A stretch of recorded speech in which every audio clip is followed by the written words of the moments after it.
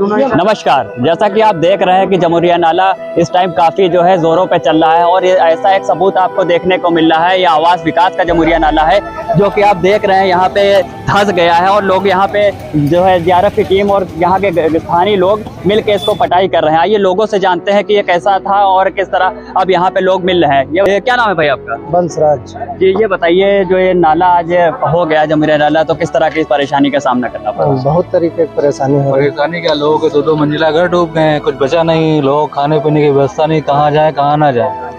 यही समस्या है और क्या समस्या है? बढ़ते पानी के चलते बढ़ते पानी के चलते लोग कहाँ जाए किस परिस्थितियों से डूब रहे हैं जूझ रहे हैं जूझते जूझते पता नहीं कहाँ चले जाए। उनको अब ये मौका नहीं मिल रहा किस रास्ते हम जाएँ।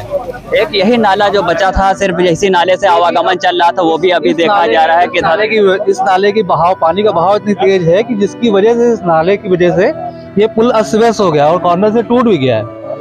जो जिसकी को अगर जो पानी का बहाव और तेज हो तो ये नाला भी समझ लिया और थोड़ा और जर्जर हो सकता है। आइए और लोगों से भी जानते हैं कि उनका क्या कहना है। क्या नाम है भाई साहब का? ये नाम है मेरा रविशंकर वर्मा एडवोकेट मैं हम्म, यहीं शहर से ही निवास करता हूँ मखदूमपुर से। मैं जा कचहरी जा रहा था लेकिन पूरे शहर में हर जगह नाकेबंदी है और ये नाकेबंदी बहुत सही की गई है यानी कि जन मानस की सुरक्षा के लिए।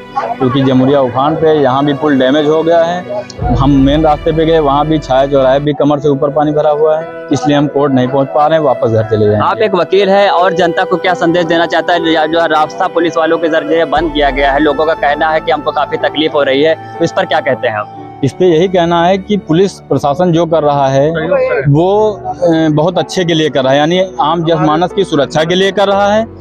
कि लोग ज़्यादा से ज़्यादा जिनको बहुत ज़रूरी है वही घर से निकलें अन्यथा वो अपने घर पे रहें और सुरक्षित रहें। तो इसलिए हम जिला प्रशासन के साथ हैं। क्या नाम है आपका?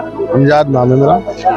क्या लग रहा है आप यहाँ के निवासी हैं जो रोक लगी है इस पर क्या कहते हैं? ठीक है रोक अच्छी है। पुलिस प्रशासन के साथ में सभी जनमानस को ऑपरेट करना चाहिए क्योंकि तो वही ज़रूरी है। नहीं तो आगे और कोई घटना घट जाए इससे अच्छा है जहाँ जहाँ बैरियर लगे उसके आगे न जाया जाए। क्या नाम है आपका?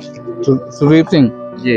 यहाँ पे जो देख रहे हैं कि नाला अभी धस गया है काफ़ी रोक अभी तक ये नाला चल रहा था जो कि रोका गया है इस पर क्या कहें इस इसमें ये कहना चाहते हैं जैसे बढ़ाओ पानी का बहाव बहुत ज़्यादा है कहीं पे पानी आया कैसा है ये नहीं है। मेरा भी घर इतना डूबा है।